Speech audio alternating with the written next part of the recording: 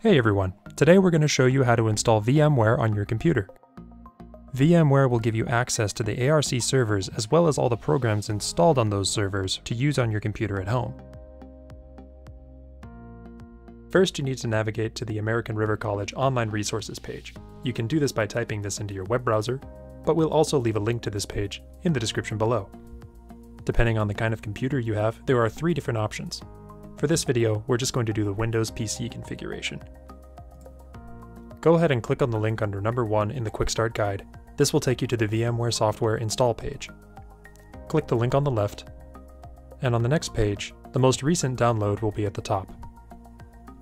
Click Go to Downloads, then click Download Now. Once you click Save File, your download will begin.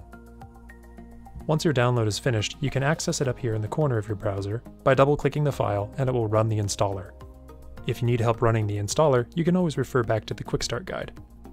Once the VMware software is installed, navigate back to the Quick Start Guide and copy the link under number 9. Now we need to open the VMware software. Click New Server, and paste the link in this box.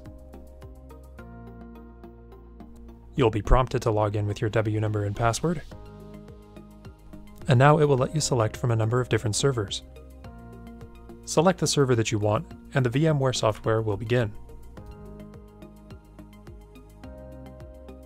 You'll notice at the top of the screen you have a toolbar. This bar can be dragged left and right, or you can change its visibility by using the pin or unpin button on the left-hand side.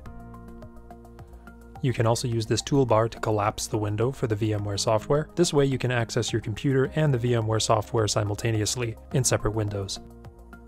And last, you can minimize the application using this toolbar. This allows you to go back to your computer at any time. Before you're finished, be sure to back up your files to a USB drive or to your computer.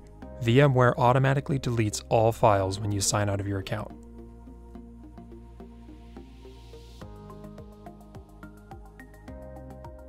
We hope this video was helpful. Now you should be able to access programs remotely using your PC at home through the VMware software.